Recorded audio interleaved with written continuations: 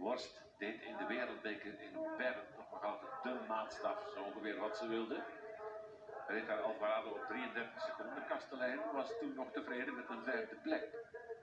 Maar nogmaals, eigen aan de vrouwencross, zeker dit seizoen, de lijnen worden niet helemaal doorgetrokken. Laten we zeggen dat de worst dat het de fijnst van allemaal doet. Dat ze er eentje op de twee wint. Maar ook dat is dan weer geen garantie. Maarten.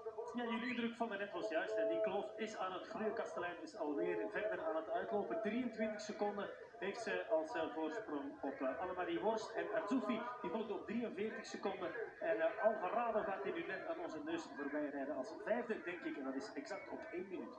Op de plaatsen 1, 2 en 5 Nederlandse vrouwen. Daartussen in de twee Italiaanse vrouwen. Dan komt Kio. En de eerste landgenote is Alicia Franco op de zevende plaats op 1.23.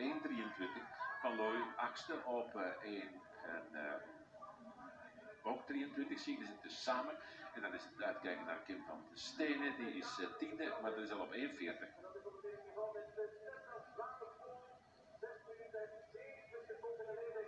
Arzoufi onder het motto voorzichtigheid boven alles. Als het hier wat uh, dor ligt, wat droger, dan uh, krijg je een ander verhaal. Dan is de kans groot dat ze meedoet voor plek 1. Toch klikt zij niets uit, uit die uh, klikpedalen, gewoon vol vertrouwen. De Arzoufi Lechter bedoel ik. Het is uh, duidelijk dat in het afdalen, dat, uh, of in het dalen toe goed, dat uh, deze worst beter voor de dag komt. Dan gaat ze altijd wat terreinwinst boeken. Maar Kastelijn heeft ondertussen al langer in de mond dat ze dat weer verruimd uitbreidt. En de, de bestroom, of de steile stroommetjes. Dat is Frank, Alicia Frank. Hier geruime tijd dus een uitlag naar Breuk. En nu weer die goede tijd gevonden heeft. En Van Looy. Ja, helemaal terug nu. Vorige week nog het uh, herstellende, wat ziekjes geweest. Maar nu, jawel, mooie plaats. Positie 8, Ellen van Looy. Kastelein ook niet die grote herenlijst samengereden, verre van. Daar is ze eigenlijk vorige zondag mee begonnen.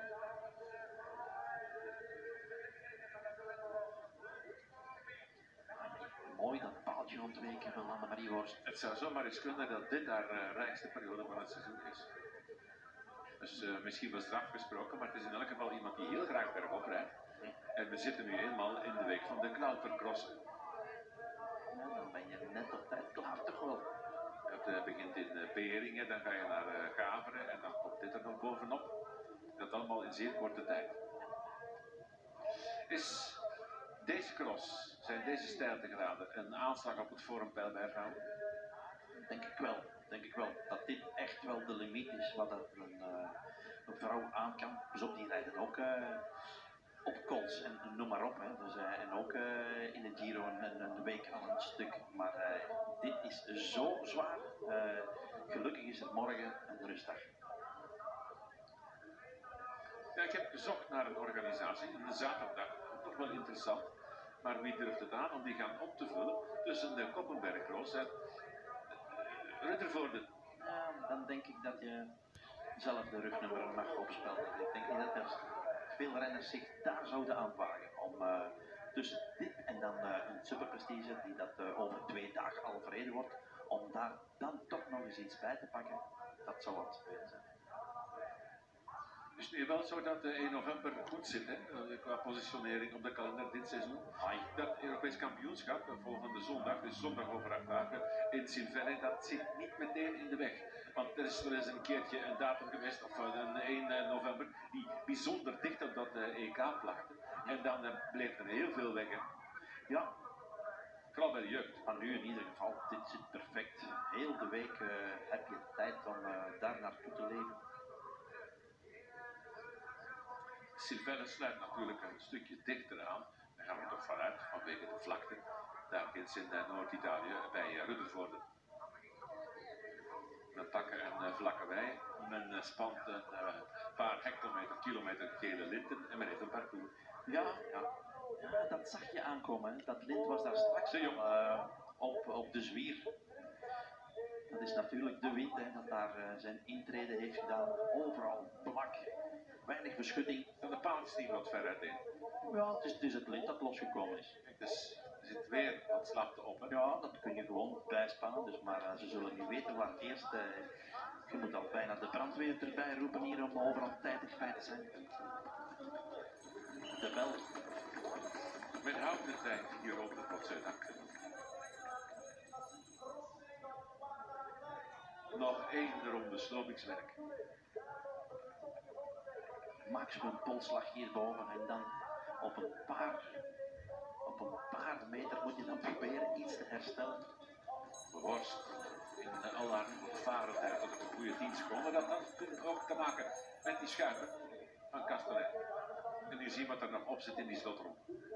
Dit ziet er nog altijd goed uit. Blijft die cool zeg. Iedere keer opnieuw op de juiste tijdstippen van fiets veranderen. Niet stresseren, om liggen kijken, nervositeit. Positioneren van de handjes bovenop het stuur staat mij ook wel aan. Arzoufi en Leg er zeker nog geen uh, gestreden strijd. Het gaat nog altijd om acht duttende seconden. En schuiven en jankt. Alvarado redt het nog binnen een minuut, dat zal niet lukken. Frank schuift al maar dicht. Heeft de tred van Kio gevolgd.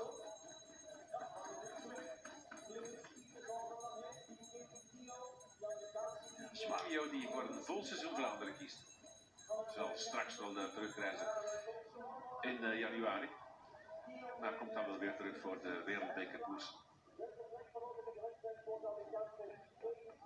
Alvarado op 1,11, Kio op 1,17.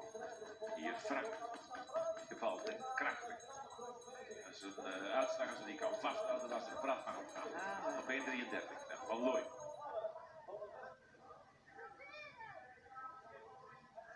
Van Looy hier vorig jaar nog vierde na Van de Stenen, Arzoufi en Worst.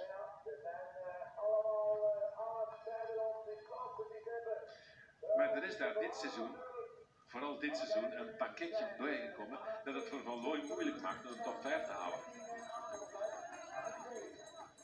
Een pakketje dat er vorig jaar ook weliswaar verspreid tussenin, maar die moesten toen ook de prijs voor de jeugd betalen. En nu is daar een pak vermogen aan bijgekomen en vandaar dat die er altijd van wegrijden. Kijk, op 9 komt er op 10. Komt een koningin de gelijkmatigheid. Zien we hoeken komen. Geert de Hoeken op plaats 12 schuift zoetjes aan op. Kim van de Stenen op plaats 13. Je had een goede remonte en geeft nu weer wat prijs.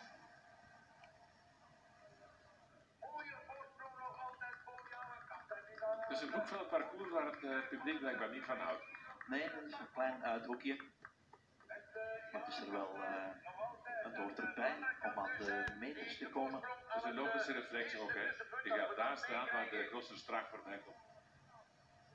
Ja, waar dat de spankracht is, waar dat er eigenlijk mogelijkheden zijn om, uh, ja, waar dat te zien is.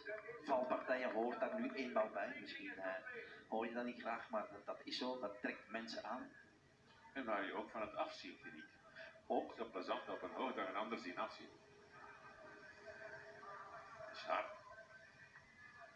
En Paul doet er het zwijgen. Ja. Ik ben aan het genieten van het, uh, van het werk hier. Castanet. Cavalier seul. Recht op de trap lekker. Dat is niet gedaan voor haar. Dat zijn haar crossen aan het worden. Ze zet haar stempel. Iemand die begrepen heeft dat je in de, deze niche van uh, de wielrennen nog bijzonder snel vooruitgang kunt boeken. Dat die toch nog niet helemaal in het zicht is, dat als je over talent beschikt, dat je in een mum van tijd kunt doorschieten naar die top. Ja, vanaf nu is, het echt de moeite, hè, want ze worden dus uh, in de klassementen worden zij zoveel betaald als de, de heren, als de echte profs. Dan denk ik wel dat dat de moeite loont aan het eind van het verhaal. Shirin van, van Android, ik wil er vanaf zijn, 16 of 17, 17. maar opgelet. Volgend jaar al, het jaar daarna, dan gaat hij als een komeet doorschieten en doet hij ermee voor winst. Wat had ze zo graag gekomen vandaag, maar ja, ze moest een examen inhalen of uh, ze kon niet aanwezig zijn hier. De school ging deze keer voor. Alweer Nederlands. wordt getraind door Mark Hermans. Ja. Smurf noemt hij ze. Het is nog een kleintje. Zo'n Smurfy is er natuurlijk niet. Nee, nee, nee, nee. Als je dat palmares eh, bekijkt, dan, eh, dan, dan ben je verwonderd van wat dat niet allemaal al gewonnen heeft. Dus laat die nog wat groeien. Dus eh, 17 jaar, dat komt goed. En zeker met Mark in de buurt, dan er Nederland er eentje gaat hebben waar dat ze trots op kunnen zijn. Inzoomen op Kio laat vermoeden dat hij eh, nog over Alvarado gaat komen. Er is er nog wel een paar seconden tussen hoor. Het is toch nog altijd een seconde of 6 à 7. Hier is dat heel voorzichtig bij Kastelein. Ja, ja, en dan gebruikt ze af en toe dat, eh dat remwerk. eh, dat is op zich niet, niet zo slecht gezien. Daar heb je dan wat steun aan, maar dan zie je die fiets volledig blokkeren. Dan moet je dat lossen. Echt wel eh, heel fijn wie dat er allemaal in geklopt heeft, want dat is niet evident, neem ik aan. Het rijdt ook een fietsenmerk dat het altijd al gedaan heeft bij de crossers. Vanwege zeer betrouwbaar. Dan zie je dat Worst nu toch weer wat dichter komt. Die afdaling weet u wel. En die komt de factor eh, van den Berg, eh, de tweede trainer boven. De tweede coach.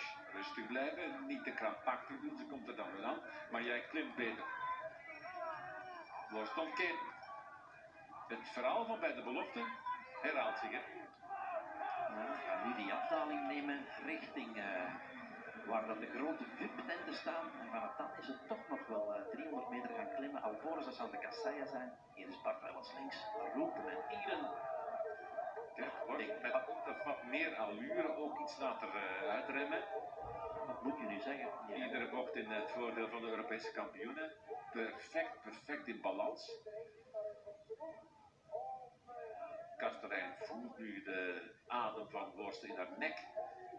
Worst heel even bijsturen, bijprikkelen. Kastelein de slipper. ja, ja, ja.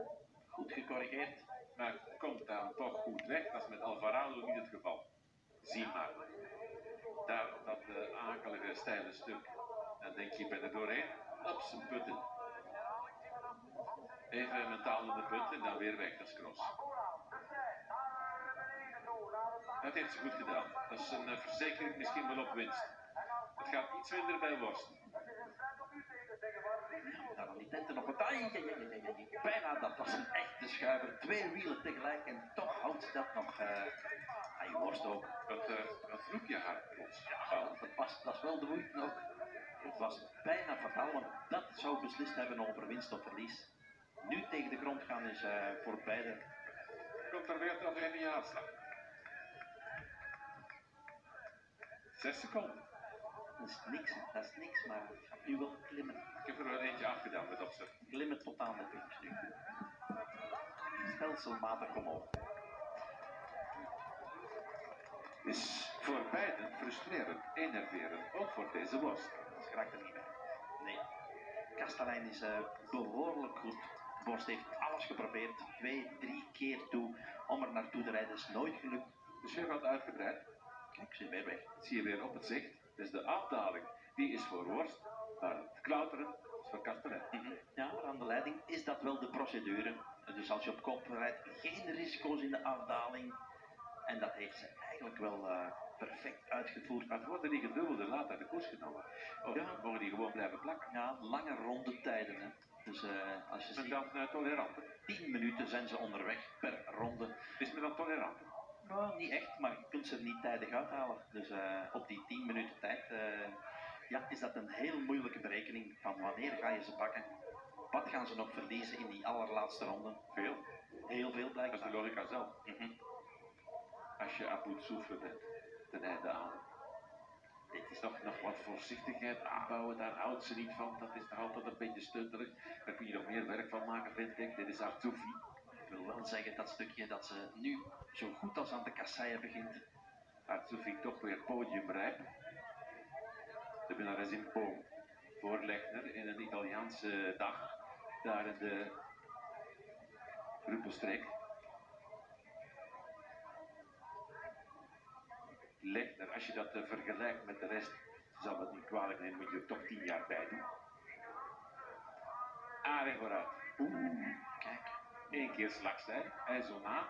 En dan het tempo eruit. Dan dat weer gaan opzoeken wat niet evident is. Iedere slag om de as is er eentje gewonnen. En hoe zit het met Worst? Heeft hij nog een overschotje? Ik eh, ga ervan uit dat straks hier bij de streep dat ze weer zullen bij gaan liggen. Het is vernietigend. Het heeft veel van spektakel, mensen houden daarvan, maar het is een aanslag op het lijf, zonder enige twijfel. In elk geval is het Nederland boven, dubbel en dik boven, andermaal. Kastelein na Gaveren ook hier op de Koppenberg, wat het worst nog akelig dik, maar opgelet dat werk van de cameraman is uitstekend, brengt haar als het weer nog dichter dan eh, de realiteit dat toelaat. En het is Kastelein in Gaveren en hier in Oudenaarde, dus de beste van alle klimsters. Worst is tweede. Godzijdank als worst van de partij, de Europese kampioenen, heeft voor spankracht gezorgd. Zonder haar was de uitstap lang gekend. Daar is Camille van den Berg, de man met de pet.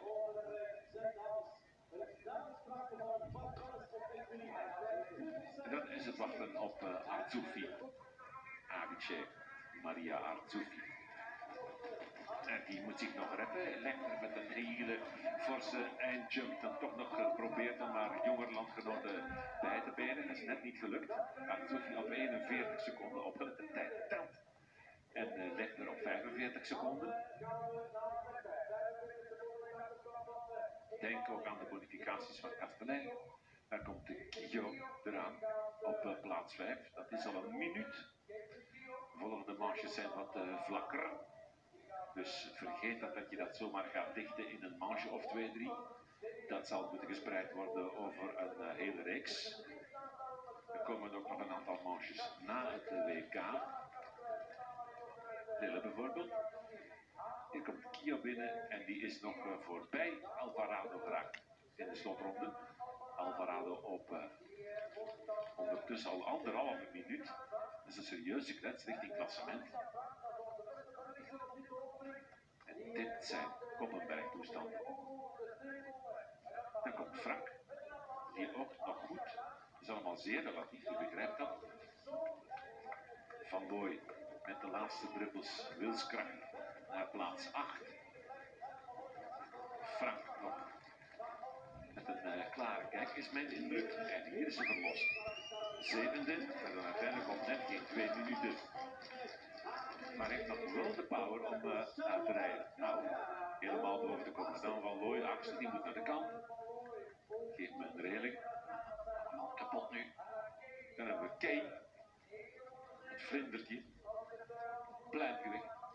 Komt er in de achtergrond met die Hongaarse. Die is te volgen. Vascata. Blanca Vascata. Interessant. Daar komt een voor. K 9, Vascata op 10 en komt een op 11. Heeft contact gehad met moeder aarde. Is gevallen. Maar dat was in beeld. Stenen voor plek 12. Dat is de volgende inzet. Uit Hongarije gekomen. Een beetje in onwetendheid. Het zal een straf zijn. Ik heb daar al over uh, horen vertellen. Maar dat dan nog eens afwerken, dat is nog wat anders. Het is toch wel straf dat ze hier komt meespelen in... Uh... Ik heb even naar, plaats gedacht. Dat komt er op mij af. Koppenberg. Amai. Dus uh, Hoeken. Twaalfde op 3 en 8. En daar de winnares van vorig jaar. Aan de midden op het stuur. Op plaats 13. Op uh, 3, 17. Kastelein Worst. Dat wordt de strijd voor de leiderspositie in de volgende marges. Ja, het verschil zal opgelopen zijn tot plus minus 13 seconden, denk ik, nu in het voordeel van uh, Kastelein.